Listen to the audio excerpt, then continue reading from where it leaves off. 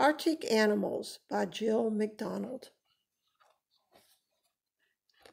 On the very top of our planet is a cold, frozen place called the Arctic. It's covered in ice and snow, but lots of amazing animals live there. Let's go and meet them.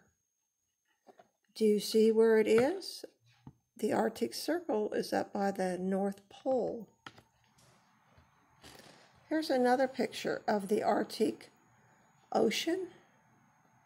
We have Canada, we have Alaska, Russia,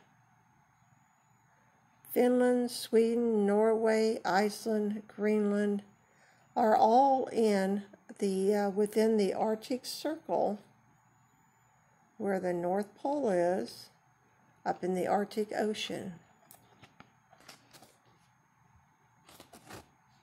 Polar bears are big and white. They have thick fur and a layer of fat called blubber to keep them warm in the cold weather and icy water.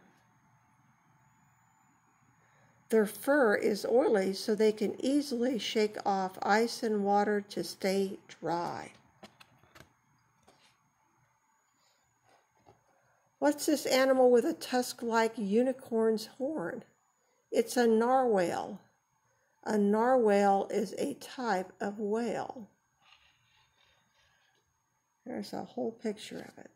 The tusk is actually a very long front tooth.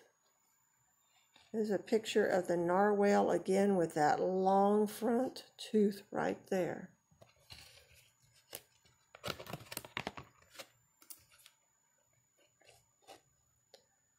Hop, hop, thump. The Arctic hare has shorter ears, ears than other rabbits and a lot of fat and fur, which help it live in cold climates.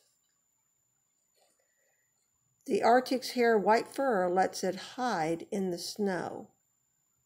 You see, it's the same color as the snow. It's white like the snow, and so it just blends in.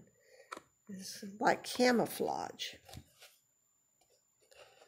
This little, little Arctic ground squirrel is busy preparing a cozy den and storing food for the winter. Soon it will be ready to hibernate. When animals hibernate, they sleep during the cold winter months, then wake up in the spring. Do you know another animal that hibernates? Bears hibernate in the winter. Swoop. What do you think this is? It's a snowy owl. The snowy owl has dense white feathers to keep it warm, golden eyes that can see food and enemies far away, and sharp claws for hunting. There are no tall trees in the Arctic, so the snowy owl builds its nest on the ground. And there's a picture of a snowy owl's nest.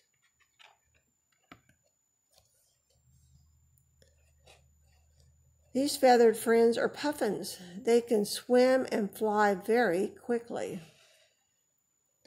A puffin's beak is gray in the winter, but in spring it turns bright orange. There's the puffins out on some ice floes.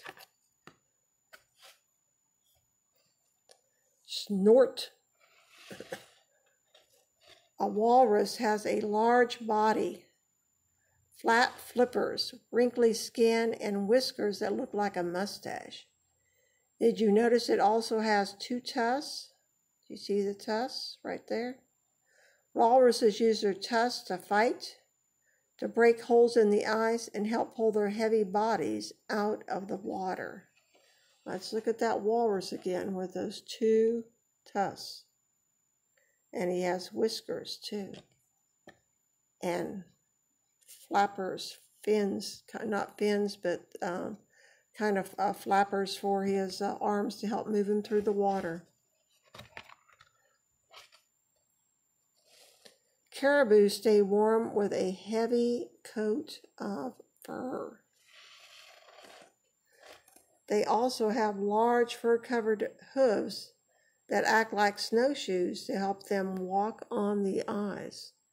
Let's take a closer look at these things. Males and females both have antlers. So there's the antlers, and here's these large fur covered hooves that act like snowshoes to help them walk on the ice. The Arctic fox has a thick fur coat that changes colors. It's white in the winter to blend in with the snow. The Arctic fox has the warmest fur of any animal in the world. It turns brown in the spring so the fox can hide among the rocks and plants. So we've got white in the winter so it can hide in the snow and brown in the spring so it blends in with the rocks and plants. Howl! The Siberian Husky is one of the oldest breeds of dogs.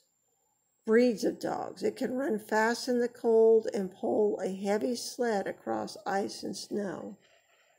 There's some huskies, a team of huskies. Siberian huskies curl into a tight ball to sleep and they cover their noses with their tail for extra warmth. Some nights the Arctic sky is full of bright waves of color. All the animals come out to look. These lights are called the aurora borealis are the northern lights. You can see some of the northern lights. Sometimes they're blue, sometimes they're uh, orange, sometimes they're red or green. So they're beautiful lights. And can you identify these animals again? The husky. What was this one? This was the narwhal, the walrus, the puffin, the Arctic fox, another walrus, an owl, the snowy owl, a polar bear, snowshoe rabbit. The rabbit gets white in the wintertime. Okay, and that's the end of the Arctic animals.